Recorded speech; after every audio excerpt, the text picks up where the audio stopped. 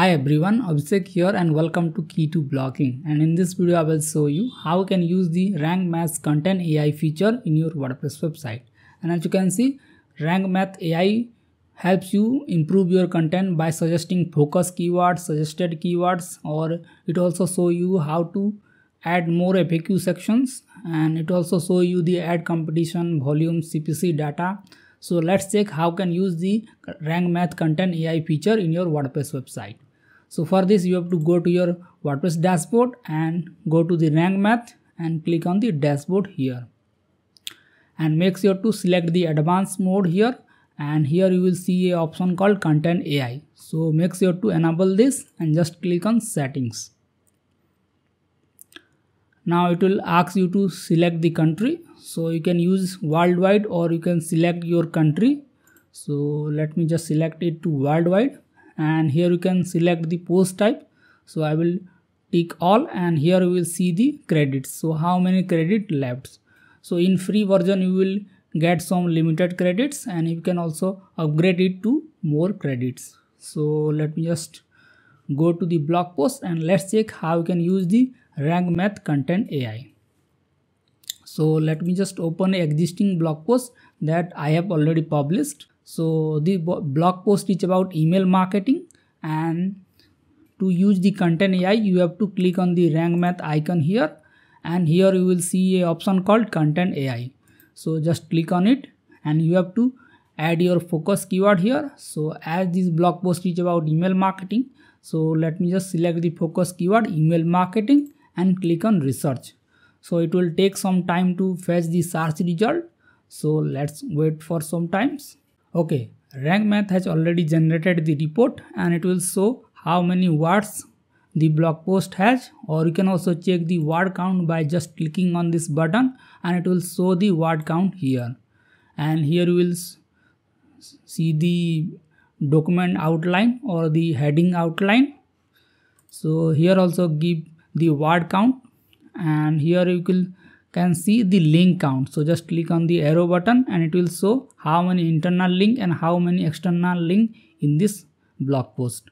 So you can see the total number of links in the internal and external section. Now let's click on heading count. So just click on this arrow button and it will show how many h2 tags or how many h3 h4 tags used in that content.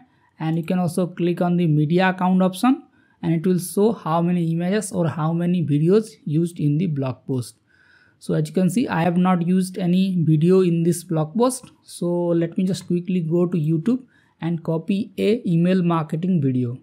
So i will just go to the youtube and in the search field i will type like email marketing. And i can get a video from here. So let's choose a video from here. So i will choose this one from hubspot. So i will copy the link and i will just click on the plus icon and i will search for youtube.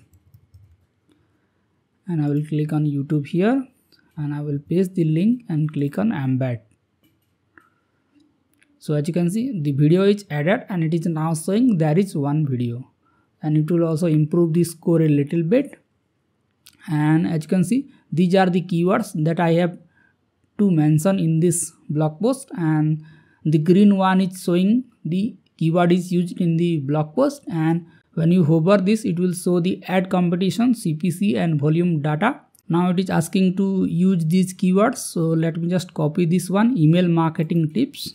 And i can simply put this keyword in this blog post. So I can simply use here the keyword in the beginning.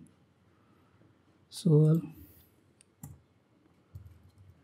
let's check some email marketing tips in this article. So I have mentioned this keyword and as you can see this section is turned green. So in this way you can use different keywords and target different keyword in the search result. Now you can use the use keyword in the sections. So you can select content to heading. So it will ask you to add this keyword in the heading and then you can select the SEO title. so SEO title basically the title that you have added here and this is the SEO description so let's click on content AI and here you can select SEO description so it will ask you to add this keyword in the SEO description now scroll down and it will show some related keywords. So you can also include this keyword if possible. And let's click on question option and it will show some questions to include in the blog post. And you can directly copy this data as a FAQ block so just copy this. And let me just scroll down. And if you are using the rank math FAQ block then you can simply type slash and you can search for FAQ and click on the rank math FAQ and let me just copy it and let me just paste it. So just copy this option and you can paste it like this and just click the second option and you can paste the FAQ block like this. Or you can use the accordion block if you are using the Kadence block plugin so let me just quickly remove this FAQ block. And you can also link out to some external resources but here you will not get some good ideas because it is asking to link to a pdf link and it is asking to a government website. So let me just open the link here. So it will show different blog posts rank math ai is not that good in terms of suggesting the external link but it will show some good keywords and question suggestion in this field.